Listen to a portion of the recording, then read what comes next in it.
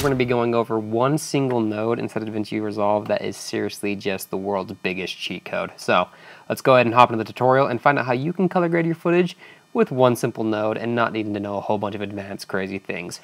Okay, note really fast, I am using the studio version of DaVinci Resolve, so if you don't have the studio version, you don't actually have access to this node. And if you're wanting to learn DaVinci Resolve, the studio version really is just kind of the way to go. Let's go ahead and hop into today's tutorial. First thing that we have to do every single time we create anything inside of DaVinci Resolve is we need to be able to set up our timelines in a way that's going to be beneficial for us and to work with our workflow.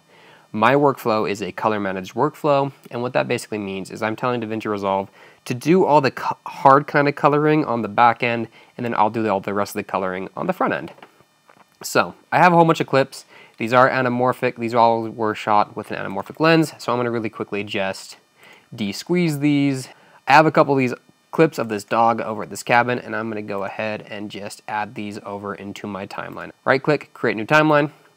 I'm going to check project settings so that I can make sure that we do have the right project settings. Format, I'm just going to do a nice 1080p. I'm to do a nice 1080p. Frame rate is looking fine for me. The monitor, all of that looks good to me. Output looks fine to me. And then the color. This is where you have to make sure that you are doing everything properly inside of DaVinci Resolve or else things end up not looking the way that you'd hoped. So I use a color managed workflow. I would suggest you guys do the same. If you don't want to use a color managed workflow, there are just a whole bunch of other ways that you have to go about in order to create some of these colors. So I'm going to go ahead, click into DaVinci YRGB, color managed.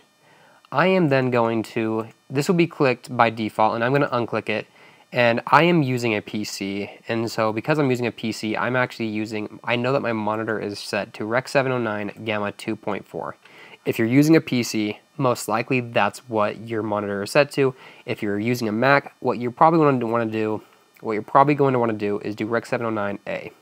So for me, Rec 709, Gamma 2.4, go ahead and press create.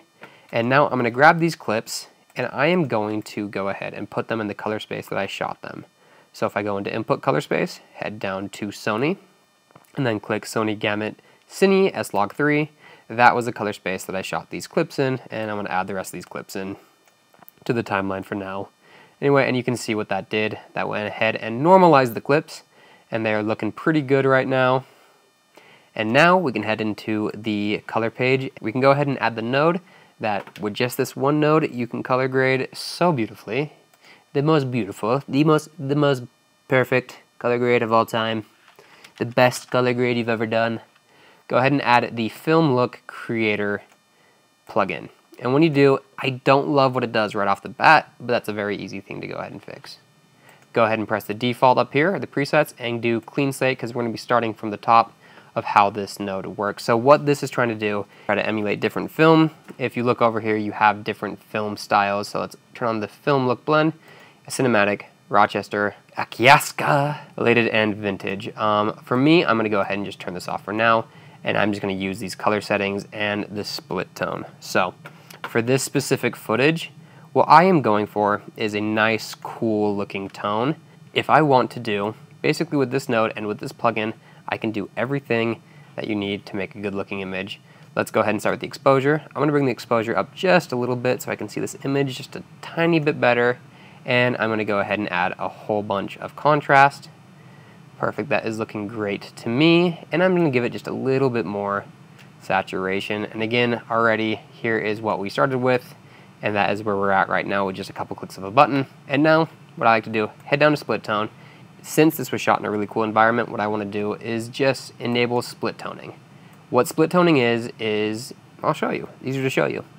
If you increase this, increase this all the way to 100, what this is going to try to do is put cooler tones in the shadows and warmer tones in the highlights because we're going to be splitting those tones. And you can change what color you want that to be and there's a whole bunch of really cool effects that you can do with just this alone. I'm to go ahead and just put that back to the default.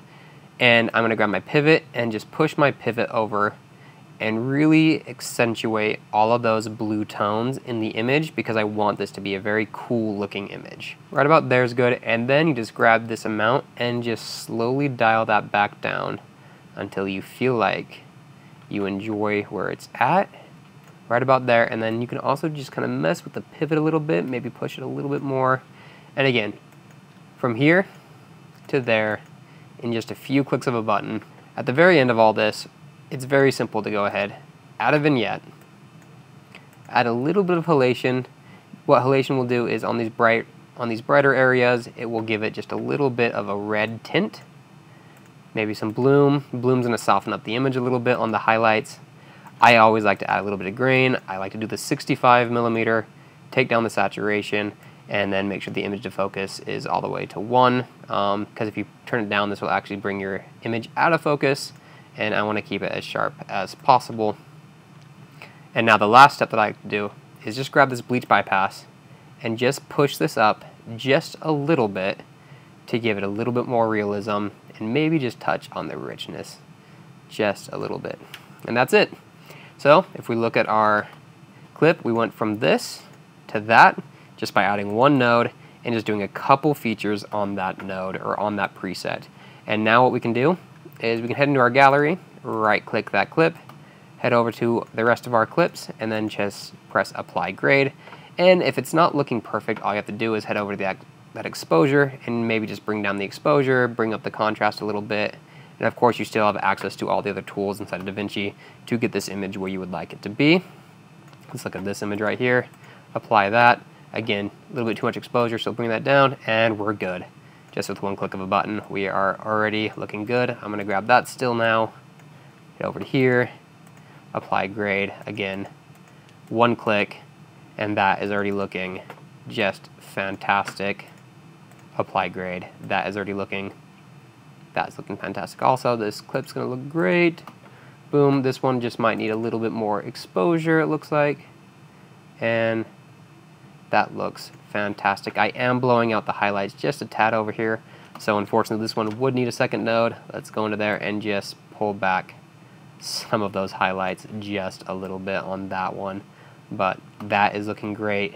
Again, before, after, before, after. So that's the note. If you have any questions, go ahead and leave them in the comments below. And, well, thank you for watching. Love you.